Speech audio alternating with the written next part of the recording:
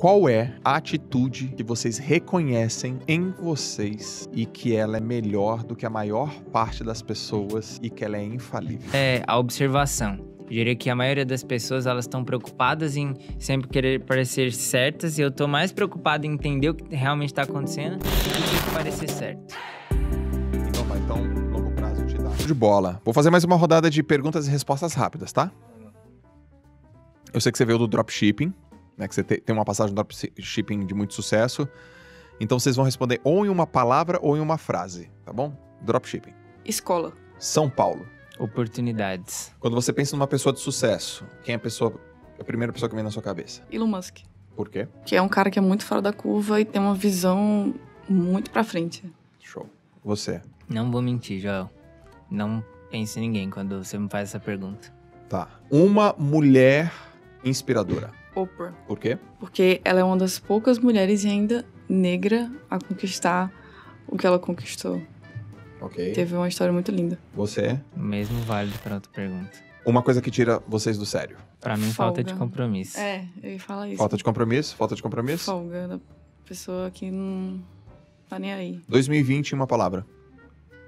Nossa, velho, foda falar isso. 2020 uma palavra? Crescimento. Não vou ser cancelado, mas melhor ano.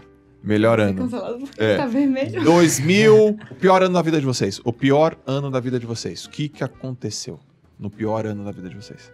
Acho que ano. Acho que 2019. Foi o meu pior e melhor ano. No mesmo ano. Porque teve uma reviravolta absurda. Foi basicamente todo mundo tacando pedra em mim. Eu tive que aprender a lidar muito com críticas, com pessoas que me julgavam, meus amigos, minha família. Todo mundo tentando puxar assim pra baixo e eu colocando força total pra não cair e continuar firme. Críticas. Pior ano. Meu, o meu pior ano foi em 2008, quando eu tive, tomei a decisão de sair da casa da minha avó e morar com a minha mãe.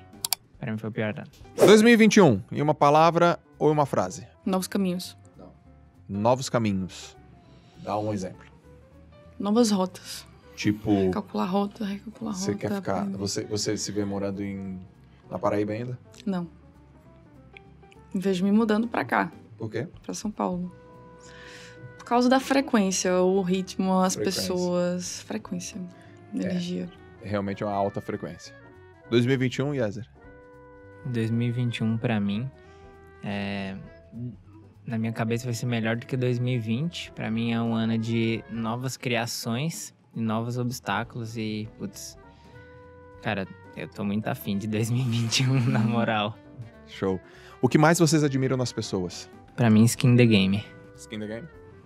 Sim. Também skin the game. Skin the game. O que mais vocês reconhecem que precisam melhorar na, na vida de vocês? Minha, assim, meus relacionamentos, vida social. Tá meio desequilibrado aí essa Tá parte. desequilibrado? Pior Tá. que é isso, né, cara? A gente, dá, a gente fala que.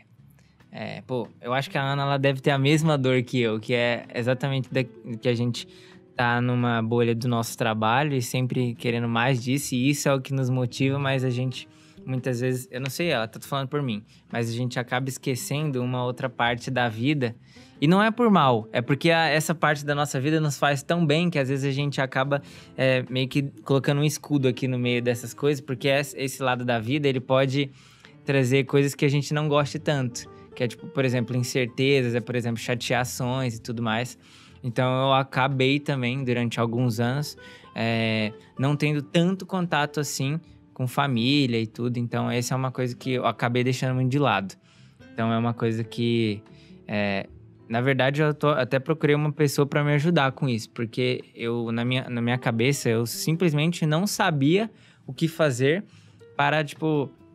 Parece besteira, mas o problema que eu mais sofro é que eu não sei como eu tenho que ser com outra pessoa para ela, pra ela é, achar que eu sou um cara, sei lá, divertido ou legal. Sabe isso? Parece uma grande uma besteira, mas é uma coisa que eu sinto dor, sabe? Como que eu posso mostrar pra você que você é uma pessoa importante pra mim? Quando pra mim, na verdade, eu não, eu não sei isso, sabe? Esse O tato. social, né? É, eu tenho muita dificuldade com isso.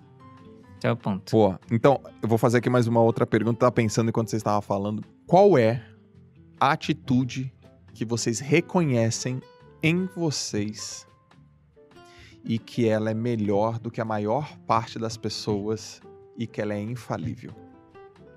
Tipo assim, cara, eu sei que nisso aqui eu sou melhor que muita, muita, muita gente.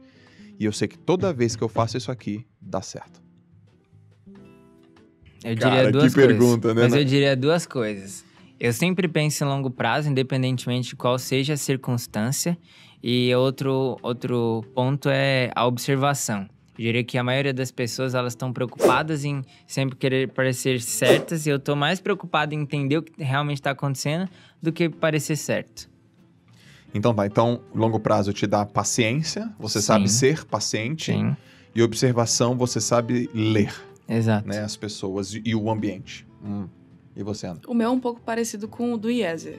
Eu diria que seria a percepção que eu tenho. Em observar detalhes e fazer, é, montar padrões de pessoas de sucesso, Cara, digamos isso é que bom, modelagem, é entendeu? bom, cara. Observar.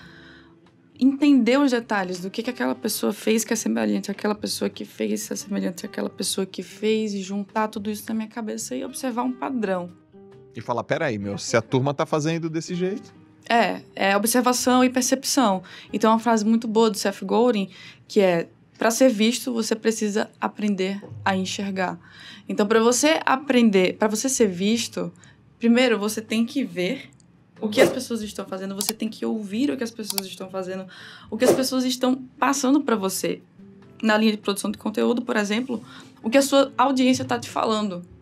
Porque não adianta você só querer ser visto, não adianta só você querer o sucesso, não adianta só você querer crescer sem ouvir, sem ter a, perce- a percepção, sem ter um lado sensitivo do que as coisas estão acontecendo ao seu redor.